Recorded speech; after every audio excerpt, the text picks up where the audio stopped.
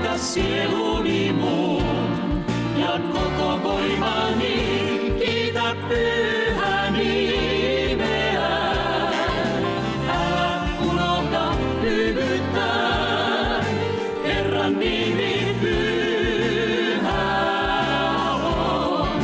Herran nimi pyhä Jeesus sanoi, että mitä se ihmistä hyödyttää, vaikka hän voittaisi omakseen koko maailman, mutta saisi sielulleen vahingon. Ranskalainen maailmankuulu matemaatikko Pascal oli syvällinen uskovainen. Joku kysyi kerran häneltä, että miten sinä, yksi aikamme suurimpia matemaatikkoja, voit uskoa tuohon Jeesukseen Kristukseen, joka on elänyt vuosisatoja sitten, kun muuten olet niin älykäs ihminen. Pascal vastasi, että jos minä en olisi sydämestäni kristitty, olisin tehnyt elämäni suurimman laskuvirheen. Jos nimittäin Jeesus Kristus on olemassa ja taivasten valtakuntaan todella pääsee uskomalla Jeesukseen Kristukseen, ja minä kieltäisin hänet, menettäisin taivasten valtakunnan. Jos taas taivasta ei olekaan olemassa, eikä Jeesus ole Jumalan poika, minä en menetä mitään. Eikä sinäkin ole tehnyt oman laskutoimituksesi, oman elämäsi suhteen ja antanut elämäsi Kristukselle, turvaten häneen koko sydämestäsi. Muista, että tuon laskutoimituksen arvo nähdään vasta taivasten valtakunnassa. Vasta siellä ikuisuudessa ymmärrät, mitä se merkitsee, että olet saanut syntisi anteeksi Jeesuksen nimessä ja veressä.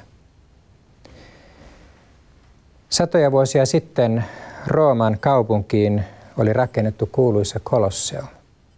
Kerrotaan, että 8000 ihmistä oli koolla, kun vietettiin tuon Kolosseumin avajaisjuhlaa.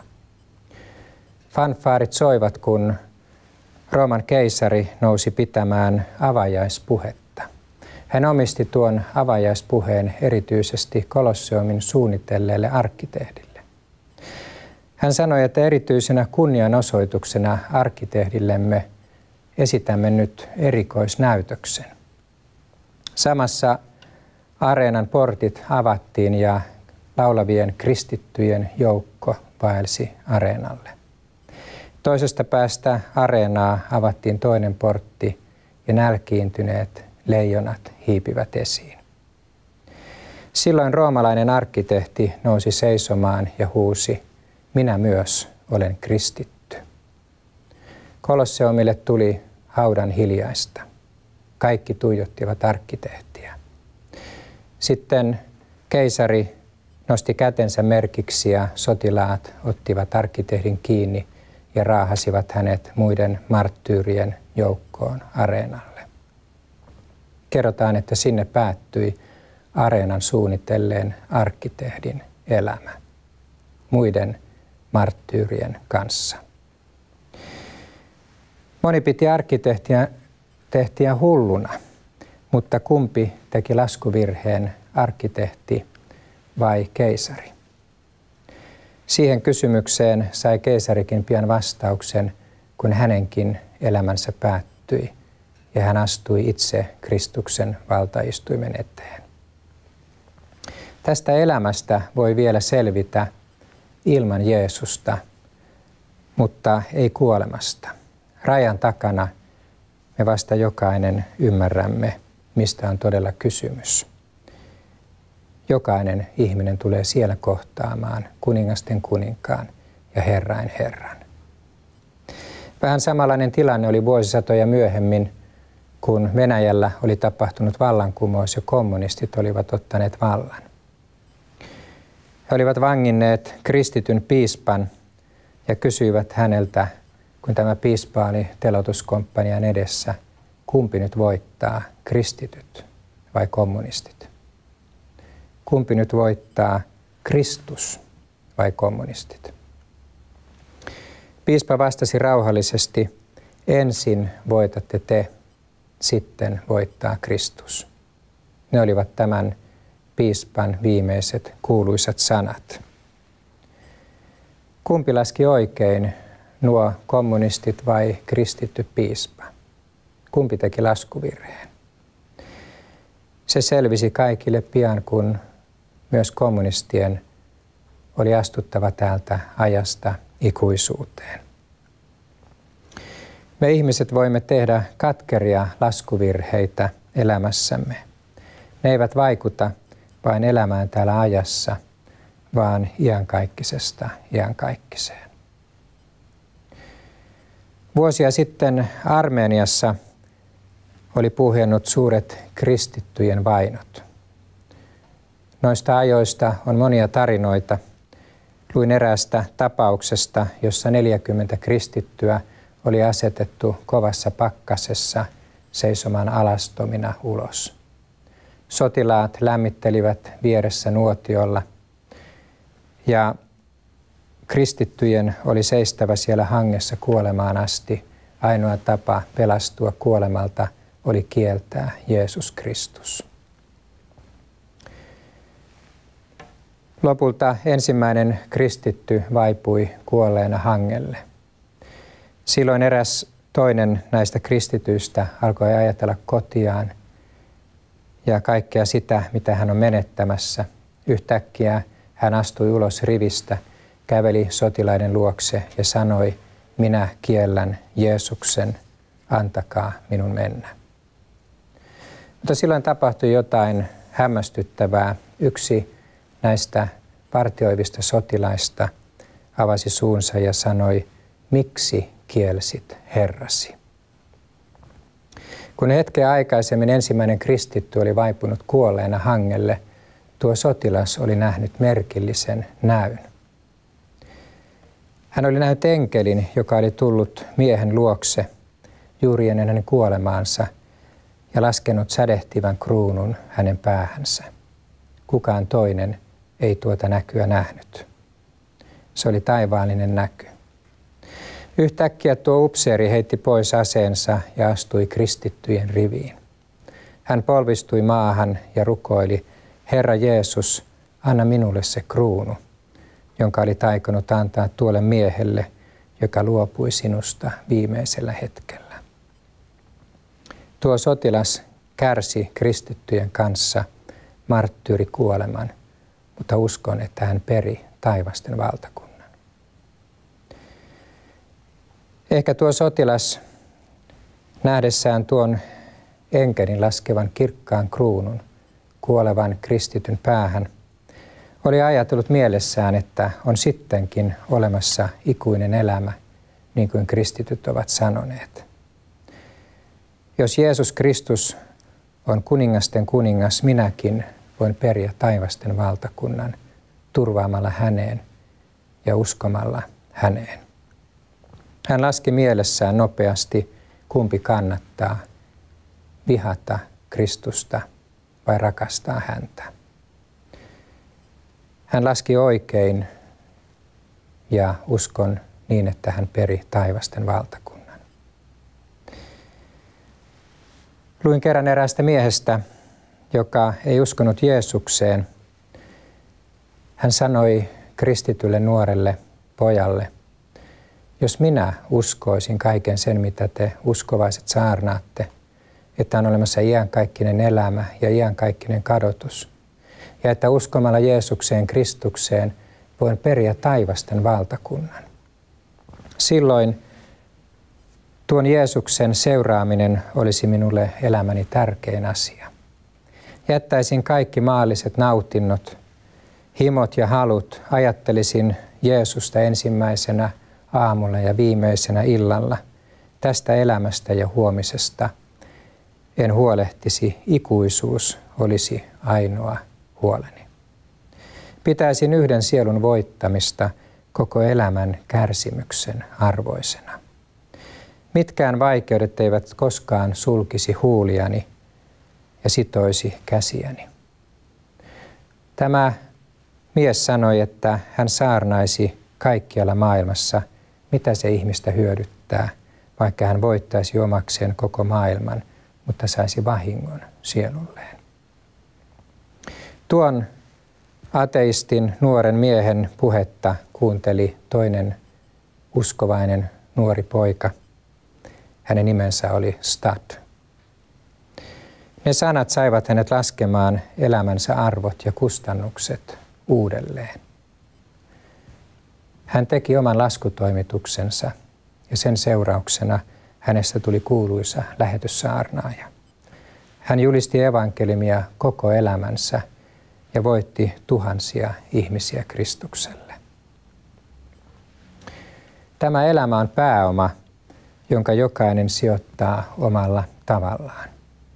Jokainen tekee omat laskutoimituksensa ja päättää, mihin uskoa ja miten elää. Me voimme laskea oikein ja voimme laskea väärin. Virheet voivat olla todella vakavia. Tänä iltana on aika pysähtyä laskemaan elämän tärkeimpiä laskutoimituksia. Ne eivät ole vaikeita. Niihin ei tarvita korkeata matematiikkaa, niihin tarvitaan vain rehellistä sydäntä. Jeesus kysyy meiltäkin tänään, mitä se ihmistä hyödyttää. Vaikka hän voittaisi omakseen koko maailman, mutta saisi vahingon sielulleen. Mitä me tähän vastaamme? Se ei hyödytä mitään. Siksi annetaan ystävät kaikki Jeesukselle. Seurataan häntä koko sydämestämme ja viedään sanomaa hänestä aina maan ääriin saakka. Ei ole mitään suurempaa kuin tuntea Jeesus ja palvella häntä. Hän on kuningasten kuningas ja herrain herra. Hänen edessään kerran jokainen polvi notkistuu ja jokainen kieli tunnustaa, että Jeesus Kristus on Herra. Kaikki eivät usko häneen tänään, mutta kaikki tulevat hänet kerran kohtaamaan. Aikaa on vähän, pian Jeesus tulee noutamaan omansa kotiin. Siksi, ystävät, seurataan häntä uskollisesti loppuun saakka. Olet varmasti lukenut Jeesuksen opetuslapsesta nimeltä Juudas Iskariot. Juudas oli kavaltaja. Ratkaisevalla hetkellä hän kielsi Jeesuksen ja luopui hänestä. Jeesus tiesi, millainen mies Juudas oli, vaikka ei sitä alun perin kertonutkaan. Kerran Jeesus sanoi, että enkö minä ole teitä valinnut, ja yksi teistä on perkele. Silloin hän tarkoitti Juudas Iskariottia. Juudas oli rahaston hoitaja. Hän varasti itselle niitä varoja, jotka kuuluivat opetuslapsille. Jeesus näki kuitenkin hänen sydämensä, mutta antoi mahdollisuuden parannukseen, vaikka tiesikin millainen mies tämä Juudas on. Siihen aikaan eli vahvana sellainen uskomus, että kun Messias kerran ilmestyy maan päälle, hän tulee hallitsemaan maailmassa yhdessä tuon Kariotin kaupungin ihmisten kanssa. Kun Jeesus alkoi sitten puhumaan kuolemastaan, Juudas tajusi, että hänestä ei tulekaan Jeesuksen rinnalla suurta, rikasta ja mahtavaa miestä. Hän päätti ottaa viimeisen hyödyn ja kavaltaa Jeesuksen – muutamasta hopearahasta. Juudas meni ylipappien luokse ja kysyi heiltä, mitä tahdotte antaa minulle, niin minä saatan hänet teidän käsiinne. Ja he maksoivat hänelle 30 hopearahaa. Ja siitä hetkestä lähtien hän etsi sopivaa hetkeä kavaltaakseen hänet. Mutta Raamattu kertoo, että kun Juudas oli kavaltanut Jeesuksen, hänet valtasi valtava synnin tunto ja hätä. Hän palasi ylipappien luo ja sanoi, minä tein synnin, kun kavalsin viattoman veren. Hänen katumuksensa ei kiinnostanut kansan uskonnollisia johtajia. He sanoivat, että mitä se meihin koskee, katso itse eteesi. Juudas heitti silloin hopearahat temppeliin ja Raamattu sanoi, että hän meni pois ja hirttäytyi. Juudas teki katkeran laskuvirheen. Hän myi rahasta sen ainoan, joka voi hänen sielunsa pelastaa. Hän myi rahasta oman lunastajansa ja vapahtajansa. Mikä hirvittävä laskuvirhe. Tuo laskuvirhe tuhosi koko hänen elämänsä ja se tuhosi hänen ikuisuutensa. Ehkä kaikkein ratkaisevin laskuvirhe Juudaksen kohdalla oli kuitenkin se aivan viimeinen, josta Raamattu sanoo, Juudas meni pois ja hirttäytyi. Me ihmiset teemme paljon laskuvirheitä. Väitän, että kukaan ei selviä elämästä ilman virheitä. Me olemme vain ihmisiä ja me erehdymme. Katkerinta Juudaksen elämässä oli se, että noiden hirvittävien laskuvirheiden jälkeen hän meni pois ja hirttäytyi. Sillä Raamattu sanoo, että Jeesus Kristus on kuollut koko maailman syntien tähden. Jeesuksen lunastustyö Kolkatalla olisi riittänyt myös Juudaksen järkyttävien laskuvirheiden hinnaksi. Mutta Juudas ei jaksanut sitä uskoa, vaan hän meni pois. Ja tuo viimeinen päätös ratkaisi hänen kohtalonsa. Älä sinä mene tänä iltana pois, jos tiedät tehneesi laskuvirheitä. Käänny Jeesuksen puoleen. Usko häneen, tunnusta hänelle syntisi ja Jeesuksen veri puhdistaa sinut kaikesta vääryydestä. Saat aloittaa puhtaalta pöydältä Jeesuksen opetuslapsena. Siksi Jeesus tuli tänne maailmaan, että me ihmiset, jotka teemme niin katkeria laskuvirheitä, että me ihmiset voisimme siitä huolimatta pelastua, saada anteeksi ja aloittaa uuden elämän. Tänä iltana on tuon Jeesuksen kohtaamisen aika. Hän kysyy, miten me vastaamme hänelle. Hän kysyy, mitä se ihmistä hyödyttää, vaikka hän voittaisi omakseen koko maailman, mutta saisi vahingon sielulleen. Se ei hyödytä mitään. Siksi toivon, että lasket oikein.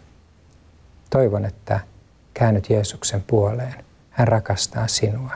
Hän haluaa antaa sinulle uuden elämän, iankaikkisen elämän. Hiilinytään vielä rukoukseen. Elävä Jeesus, me kiitämme tänään sinua siitä, että sinä olet tullut meidän syntisten tähden, jotta meillä olisi uusi mahdollisuus, jotta me voisimme saada virheemme anteeksi. Me tunnustamme tänään sinulle syntimme ja pyydämme, Herra Jeesus, puhdista meidät kaikista meidän virheistämme, vääristä valinnoistamme, vääristä laskuvirheistä. Anna syntimme anteeksi. Ja kiitos Jeesus, että otat omaksesi jokaisen, joka tänä iltana sinun puoleesi kääntyy. Niin Herra, että me saamme periä sen valtakunnan, jonka sinä olet luvannut niille, jotka sinun uskovat. Tätä rukoilemme Jeesuksen nimessä. Amen.